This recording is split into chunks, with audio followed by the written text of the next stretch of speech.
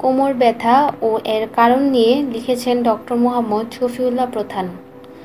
কোমর ব্যথা বা ব্যাক পেন বেশিরভাগ মানুষই জীবনে কোনো না কোনো সময় কোমর ব্যথাজনিত সমস্যায় ভুগে থাকেন। আমাদের দেশে প্রতি পাঁচজনের মধ্যে চারজন জীবনে কোনো না কোনো সময়ে এই সমস্যায় ভুগেছেন।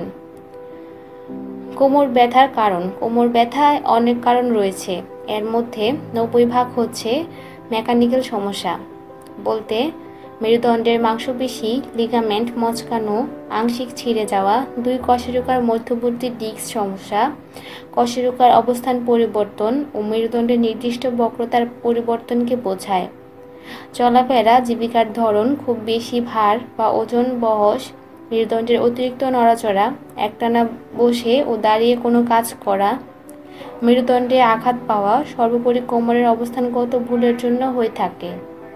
অন্যান্য কারণের মধ্যে বয়সজনিত মেরুদণ্ডের ক্ষয় বা বৃদ্ধি অস্টিও আর্থাইটিস বা গেটে বাত, অস্টিওপোরোসিস অ্যাঙ্কালোজিং স্পন্ডাইলিটিস মেরুদণ্ডের স্নায়বিক সমস্যা, টিউমার ক্যান্সার, বোন টিবি, কোমরের মাংসপেশির সমস্যা, পেটের বিভিন্ন ভিসেরাল রোগ বা ইনফেকশন বিভিন্ন স্ত্রীরোগজনিত সমস্যা, মেরুদণ্ডের রক্তবাহী নালীর সমস্যা, অপুষ্টিজনিত সমস্যা, মেদ বা ভুঁড়ি, অতিরিক্ত ওজন ইত্যাদি।